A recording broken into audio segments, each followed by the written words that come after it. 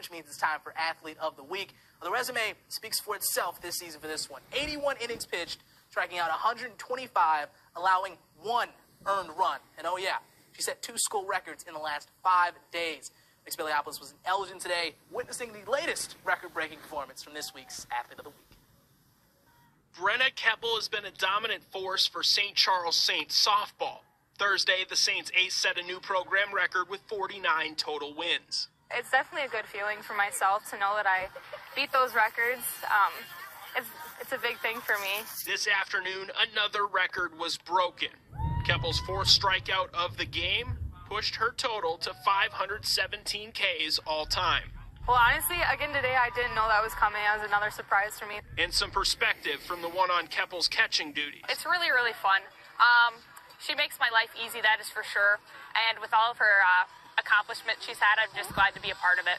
Brenna does the work in the circle, but recognition for someone digging in the history books. I, I have to credit my assistant coach, Barry Tinter. He, he has spent the last three months putting together a record book.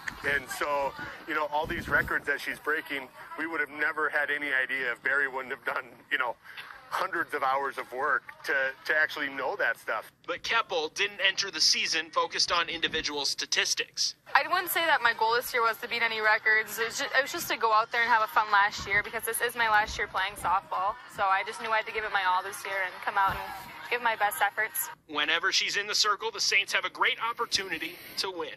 Doesn't matter who we're playing. I, I think we have a shot to beat everyone.